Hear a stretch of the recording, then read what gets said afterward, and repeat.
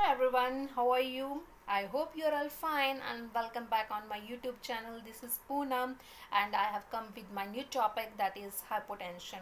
Previously I told about what is hypertension. Now I will tell you what is hypotension and I think everybody know about what is hypotension but briefly I will tell you what is hypotension. और आज मैं सबसे पहले आपको बताऊँगी कि blood pressure क्या है जब हमारा हार्ट जो ब्लड है पूरी बॉडी में सप्लाई करता है, पूरी बॉडी में भेजता है, उस दबाव को क्या बोलते हैं? Blood pressure. ये दो तरह का होता है जो कि है स्टॉलिक ब्लड प्रेशर और डायस्टॉलिक स्टॉलिक ब्लड प्रेशर जब हमारा हार्ट कॉन्ट्रैक्ट करते हैं उसे स्टॉलिक बोलते हैं और जब डायस्टॉलिक जब हमारा हार्ट जो है वो रिलैक्स करता है उसे डायस्टॉलिक कहते हैं। जो स्टॉलिक ब्लड प्रेशर में जब जो हमारा आ, मात्रा है वो ऊपर वाली मात्रा को मापा जाता है उसे बोलते हैं स्टॉलिक और जब हमारी ब्लड प्रेशर की मात्रा को नीचे वाली मात्रा में मापा जाता है उसे बोलते हैं डायस्टॉलिक नॉर्मल जो ब्लड प्रेशर है हमारा होता है 120 twenty by eighty M M H G M M H G क्या है? मिलीमीटर ऑफ़ मर्करी ये नॉर्मल हमारा blood pressure 120 twenty by eighty जब हमारा स्टॉलिक ब्लड प्रेशर 120 से अबव हो जैसे कि 140, 150 हो गया स्टॉलिक एंड डायस्टॉलिक जैसे हो गया 100 एंड 90 और 110 ये हो गया हमारा डायस्टॉलिक जब ये ब्लड प्रेशर हो उसे बोलते हैं हाइपरटेंशन जबकि हमारा ब्लड प्रेशर एलिवेट हो जाए 120 से अबव जैसे 130, 140 बाय 90, 100 उसे बोलते हैं हाइपरटेंशन और जब हमारा ब्लड प्रेशर लो मात्रा में हो, जैसे कि स्टॉलिक ब्लड प्रेशर हो 90 और डायस्टॉलिक हो 60 उसे बोलते हैं हाइपोटेंशन जब उसकी मात्रा बिलो 90 या बाय 60 हो तो उसे बोलते हैं हाइपोटेंशन आई होप ये इसका आपको पता चल गया वो कि उसको हाइपरटेंशन को क्या बोलते हैं? हाइपर मतलब हाई और जो हाइपोटेंशन को क्या बोलते हैं? हाइपो मतलब लो ठीक है? उसके बाद मैं आपको बताऊँगी कि इसके क्या क्या कारण है। किस कारण से हाइपोटेंशन हो सकता है? हाइपरटेंशन का मैंने अपनी प्रीवियस वीडियो में सब कुछ बता दिया था कि उसकी डेफिनेशन क्या है, उसके कॉजेज सिम्टम्स उसकी डायग्नोस्टिक एवेल्युएशन उसके साइन सिम्टम्स उसकी कॉम्प्लिकेशन उसकी मैनेजमेंट मैंने अपनी सारी वीडियो में पिछला बताया है। अभी मैं आपको बताऊँगी कि हाइपोटेंशन में क्या है।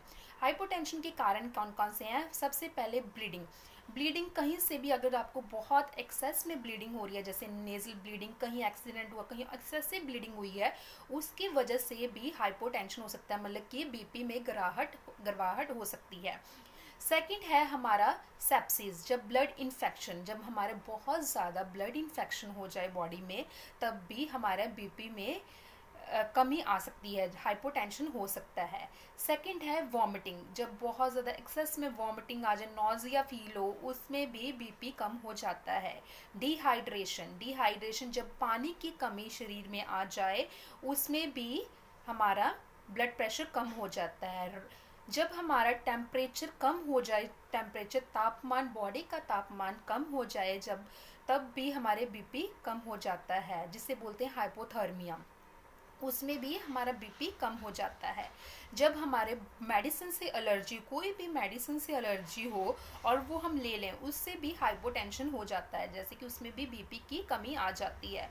ठीक है? और उसके बाद जब बहुत से लोग, जैसे धूम्रपान अल्कोहल स्मोकिंग करते हैं, उन लोगों में भी बीपी आम करके कम ही रहता है।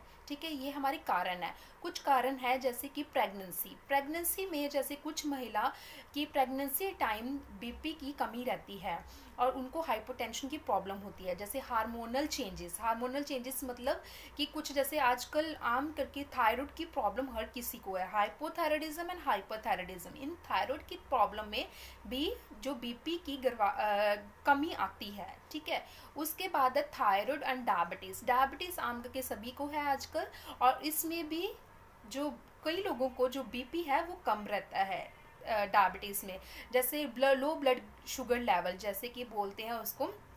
मैंने आपकी पुरानी वीडियो में बताया कि हाइपोग्लाइसीमिया हाइपो एंड हाइपरग्लाइसीमिया उसमें भी जो हाइपोग्लाइसीमिया में भी जो ब्लड बीपी है, वो कम रहता है, ठीक है? उसमें है हार्ट फेलियर हार्ट फेलियर जैसे प्रॉपरली हमारा हार्ट काम नहीं करता है उसमें कोई ब्लॉकेज है नेक्रोसिस है, ठीक है? प्लेक है, कोई भी उसकी ब्लॉकेज की वजह से हार्ट प्रॉपर पंप नहीं कर रहा ब्लड तो उसमें भी बीपी हमारा लो रहता है एंड हार्ट अरिदमिया अरिदमिया मतलब क्या है? जब हमारा हार्ट रेट बढ़ जाए, ठीक है हार्ट जो का रिदम है वो बढ़कर रहा है जैसे कि नॉर्मल हार्ट रेट कितना होता है? एट्टी टू मतलब कि हंड्रेड मतलब सिक्सटी टू हंड्रेड नॉर्मल है। सिक्सटी से कम हो जाए तो वो ब्रेडिकार्डिया में आता है और हंड्रेड से अबव हो जाए वो टैकिकार्डिया में आता है। जिसको हार्ट रेट बढ़ जाए उसको टैकिकार्डिया बोलते हैं। जब हार्ट रेट कम हो जाए ब्रेडिकार्डिया अरिथमिया क्या है? अरिथमिया जब हार्ट रेट बढ़ जाए तो उसमें उसमें भी ब्लड प्रेशर लो रहता है। और डिसअरिथमिया जब इरेगुलर हार्ट बीट हो इरेगुलर हार्ट बीट मतलब कभी हार्ट रेट बढ़े और कभी हार्ट रेट कम हो तो उससे हमें क्या, उसमें भी ब्लड प्रेशर की कमी रहती है। ठीक है? और कुछ में स्ट्रोक में भी और कोई लीवर डिज़ीज़ कोई भी किसी को लीवर डिज़ीज़ है, उसमें भी हाइपोटेंशन की प्रॉब्लम रहती है। ठीक है? ये हमारे सभी कारण हैं हाइपोटेंशन के। नेक्स्ट है साइन एंड सिम्टम्स जो कि लक्षण है। फ़र्स्ट है ब्लर विजन ब्लर विजन जैसे कि धुंधलापन दिखना स्टार्ट हो जाता है। अगर ज़्यादातर बीपी कम रहता है तो उसमें धुंधलापन आना शुरू हो जाता है। फ़र्स्ट एंड कोल्ड कोल्ड मतलब कि त्वचा ठंडी पड़नी स्टार्ट हो जाती है। हाइपोटेंशन में जो जिसमें बीपी कम रहता है तो उसमें जो त्वचा है, ठंडी होने लग जाती है। क्लैम्बी क्लैम्बी मतलब कि चिपचिपाहट। बॉडी में चिपचिपाहट होना स्टार्ट होता है। पेल स्किन पेल स्किन मतलब कि पीलापन।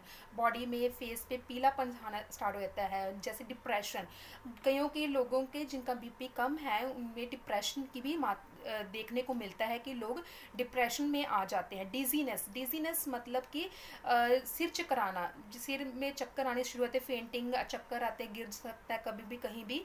जबकि जब बीपी लो होता है तो चक्कर आने भी शुरू हो जाते हैं। वीकनेस बहुत सी वीकनेस आ जाती है। फटीक जल्दी थकावट हो जाती है। वीकनेस बॉडी में वीकनेस आ जाती है। और पैल्पिटेशन दिल की धड़कन बढ़नी शुरू हो जाती है। पैल्पिटेशन घबराहट होनी शुरू हो जाती है। और ये आ, कई बार ब्रीदिंग डिफ़िकल्टी भी हो जाती है, जो रैपिड एंड कई बार स्लो ब्रीदिंग डिफ़िकल्टी होने लग जाती है, सांस फूलनी शुरू हो जाती है, ये सारे सिम्टम्स हैं जो कि हाइपोटेंशन में हमें देखने के मिलते हैं। फिर नेक्स्ट है डायग्नोस्टिक एवेल्युएशन डायग्नोस्टिक एवेल्युएशन मतलब जो टेस्ट हमें किए जाते हैं हाइपोटेंशन में ब्लड जब ब्लड प्रेशर की कमी होती है, उसमें ये सब टेस्ट होते हैं. फ़र्स्ट है ब्लड टेस्ट ब्लड टेस्ट में क्या होता है? अनीमिया अनीमिया का लेवल उसका H B H B haemoglobin जब पेशेंट में अनीमिया लोगों में अनीमिया मतलब खून की कमी आ जाती है, वो मात्रा में भी हमें देखने में मिलता है ब्लड प्रेशर की कमी. और सेकेंड है blood test like hypoglycaemia and hyperglycaemia sugar test हमें डायबिटिक टेस्ट किया जाता है इसमें और ईसीजी e चेंजेस देखे जाते हैं, जैसे कि इको इको इलेक्ट्रोकार्डियोग्राम इलेक्ट्रोकार्डियोग्राफी इसमें हम इलेक्ट्रिकल एक्टिविटी देखते हैं, जो हार्ट की क्या इलेक्ट्रिकल एक्टिविटी है, कि कितना हार्ट कब पंप कर रहा है, उसका ई e कितना इजेक्शन फ्रैक्शन कितना है, कितना, जैसे normal fifty five to sixty percent normal होता है। उसमें हम हार्ट का पंप देखते हैं, कितना परसेंट हार्ट पंप कर रहा है, कितना उसकी परसेंटेज कितनी है हार्ट की पंप करने की। और ई e में देखते हैं कि उसके कोई ईसीजी चेंजेस तो नहीं है कहीं उसकी कहीं ब्लॉकेज तो नहीं है उसके जो वेंट्रिकल्स हैं प्रॉपर वर्क कर रहे हैं, ये सब उसकी हम ईसीजी में हम ये देखते हैं। ठीक है? ये हमारी सब होगी डायग्नोस्टिक एवेल्यूशन ब्लड टेस्ट देखेंगे, उसमें अनिमिक टेस्ट देखेंगे और डायबिटिक टेस्ट देखेंगे, जो कि हाइपोग्लाइसीमिया एंड हाइपरग्लाइसीमिया और नेक्स्ट उसका ईसीजी यानी इको चेक करेंगे, ठीक है? नेक्स्ट हमारे हो गया ट्रीटमेंट ट्रीटमेंट में हम कौन कौन सा इलाज कर सकते हैं हाइपोटेंशन पेशेंट के लिए? हाइपोटेंशन पेशेंट के लिए सबसे पहले यूज़ मोर सॉल्ट हमें जैसे कि नमक की मात्रा हमें अच्छी रखनी है डाइट में, जिसको भी हाइपोटेंशन की प्रॉब्लम है, जैसे कि हाइपोटेंशन की बीपी की बीपी की कमी रहती है बीपी में हमेशा कम रहता है तो उसमें उनको हमेशा डाइट अच्छी लेनी चाहिए। जैसे कि अनिमिक लोगों में भी आम करके ये हाइपोटेंशन होता है, जिनमें बी ट्वेल्व की कमी होती है आयरन की कमी होती है, उनमें भी हाइपोटेंशन होता है। इसमें हमें बी ट्वेल्व अच्छा लेना है, हमारे डाइट अच्छी होनी चाहिए, जैसे कि प्रॉपर वेजिटेबल्स फ्रूट्स ये सब कुछ हमें अच्छी मात्रा में लेना है। अच्छे से अपने खाने को खाना है बैलेंस डाइट लेनी है इसमें हमने। और उसमें हमें अपना अच्छे से सॉल्ट को डाल के खाना है। बहुत ज़्यादा सॉल्ट भी नहीं लेना क्योंकि हाई सोडियम भी क्या करता है?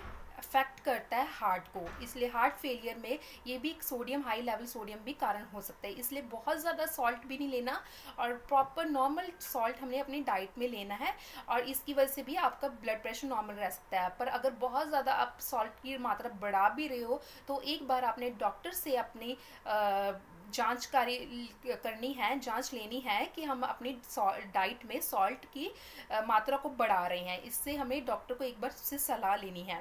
उसके बाद ज़्यादातर मोर ड्रिंक वाटर ज़्यादातर पानी पीना है। अपनी ज़्यादा जब हम पानी पियेंगे तो उससे हमारा ब्लड प्रेशर की जो मात्रा है वो नॉर्मल रहेगी। इसलिए हमें अपना पानी ज़्यादा से ज़्यादा दिन में पीना है। डिहाइड्रेशन की कमी नहीं आएगी और प्रॉपर बॉडी में फ्लूड की प्रॉपर कोई कमी नहीं आएगी और प्रॉपर मात्रा रहेगी। जिस वजह से हमारा ब्लड प्रेशर नॉर्मल रहेगा। तो हमें ज़्यादातर फ्लूड लेना है। इनटेक डाइट ज़्यादा रखनी है अच्छी, और ज़्यादा से ज़्यादा बी ट्वेल्व लेना है, और आयरन लेना है सब्जियों में, और हर चीज़ में अच्छी डाइट रखनी है, और एक्सरसाइज ज़्यादा करनी है। एक्सरसाइज से क्या होगा? At least thirty to sixty minute रोज़ हमें एक्सरसाइज करनी है। इससे क्या है? ब्लड प्रेशर में हमारा जो हार्ट है प्रॉपर वर्क करेगा, और जो हमारा ब्लड प्रेशर है, वो नॉर्मल रहेगा। उससे हमारा लो ब्लड प्रेशर नहीं होगा। ठीक है? ज़्यादा स्ट्रेसफुल इन्वायरमेंट में नहीं रहना, ज़्यादा तनाव नहीं लेना, ज़्यादा स्ट्रेस नहीं लेना किसी भी चीज़ को लेकर। अपने हमेशा अच्छे से अपने रहना है, जिसकी वजह से भी आपका ब्लड प्रेशर नॉर्मल रहेगा। अगर ज़्यादा तनाव लेंगे, उससे भी हमारा हाइपोटेंशन हो सकता है ब्लड प्रेशर की बीमारी शुरू हो सकती है। इसलिए इन चीज़ों को आपको ध्यान में रखना है। जब भी आप अपने घर में रहते हो तो इस चीज़ों को आप ध्यान में रख सकते हैं। ये सब हमारे बचाव के लिए कारण हो ट्रीटमेंट हो सकता है। ज़्यादातर सॉल्ट लें और ज़्यादा फ्लूड लें, फ्लूड इनटेक लें, ज़्यादा डाइट अच्छी रखें एक्सरसाइज करें और तनाव से दूर रहें स्ट्रेस से दूर रहें और इसकी कुछ कॉम्प्लिकेशन भी है, कोई नुकसान भी है। जैसे कोमा कोमा हो सकता है, अगर ब्लड प्रेशर बहुत ज़्यादा लो हो रहा है तो उसे कोमा के भी होने के चांसेस है कि कोमा हो सकता है। और ब्रेन हेमरेज हो सकता है स्ट्रोक हो सकता है, जब हम प्रॉपर ब्लड सप्लाई ब्रेन में नहीं पहुंचेगा तो उससे क्या होगा? कि ब्रेन हेमरेज लाइक स्ट्रोक होने का चांसेस है हार्ट डिजीजेस होने के चांसेस हैं हार्ट डिज़ीज़ कोई भी हार्ट फेलियर हो, होने का चांसेस है कॉर्नरी आर्टरी डिजीजेस होने के चांसेस हार्ट अटैक होने के चांसेस है। कोई भी कार्डियोवेस्कुलर डिजीजेस होने के चांसेस है जब हमारा ज़्यादातर बीपी लो रहता है। अगर आप घर पे मशीन एक लेकर रख सकते हैं और जो लोग हाइपोटेंशन के मरीज़ हैं, वो लगातार अपने बीपी को मापें, घर पे और देखें। और अगर वो की मात्रा बहुत ज़्यादा जो कम लग रही है बीपी की तो वो ज़रूर हॉस्पिटल में जाके एक बार डॉक्टर की सलाह लें और अपनी मर्ज़ी से कोई भी मेडिसिन नहीं लेनी। इससे क्या होता है, कोई मेडिसिन से कई बार किसी को एलर्जी हो जाती है और हमेशा कोई भी मेडिसिन आप लेते हो तो विदाउट फिजिशन आपने वो मेडिसिन नहीं लेनी। और हमेशा हॉस्पिटल में जाके उस प्रॉपर उस मेडिसिन की जाँच लेनी है। और मुझे होप है कि आपको ये वीडियो अच्छी लगी होगी और आपके लिए ये फ़ायदेमंद होगी। और इससे आप बहुत कुछ आपको न्यू सीखने को मिलेगा। और मैं चाहती हूँ कि आप मुझे कुछ सजेशन अपने आइडियाज़ दो कि मैं अपनी नेक्स्ट वीडियो और कौन कौन से टॉपिक्स पे बना सकती हूँ और कुछ आपके साथ अपने व्यूज़ और आइडियाज़ शेयर कर सकती हूँ। I hope you like my video and please like comment subscribe and share it thank you